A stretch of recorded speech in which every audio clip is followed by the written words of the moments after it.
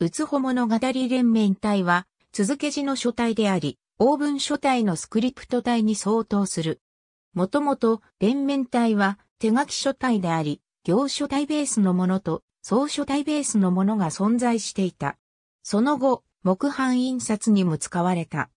活版印刷時代より明朝体にとって変わられたため、使われる機会が少なくなったものの、年賀状や芸術などの用途で利用が続いている。また、コンピュータの時代となり、ゴシック体風や明朝体風の連綿体本とも登場している。連綿体の金属活字が最初に使われたのは、西暦1600年前後の20年間に刊行されたキリシタン版であるが、キリシタン追放とともにその活字は消滅。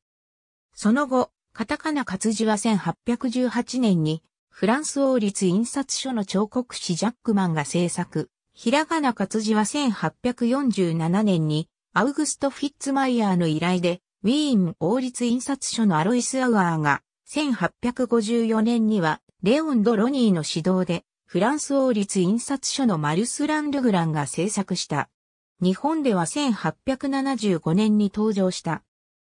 連綿体言バンク文脈に応じて変形する筆書きフォント、清月など、森沢新書体を発表マイナビ2021年6月24日、森沢2017年の新書体を発表森沢2017年7月28日、英撃台風に文字同士がつながる縦書き専用かな、フォント、IK 連綿、チック2010年7月8日